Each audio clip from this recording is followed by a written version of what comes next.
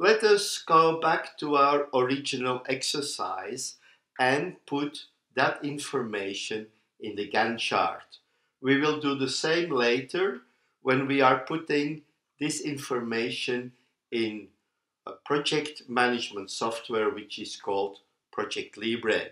So you will find the same things here and later in the program.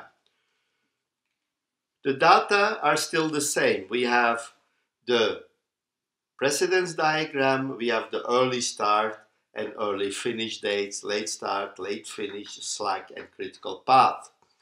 So here we have that information but only related to the early start and early finish. We already did this before in the previous session.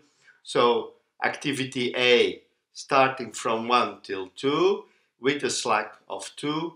Activity B, no slack, it's on the critical path from period 1 to 4. Activity C starts on period 3, finishes on activity on the period 5 and has a slack of 4. Activity D also starts at period 3 but finishes on period 4 and has a slack of 5. Another critical path activity E, which starts in period 5 and ends at period 9.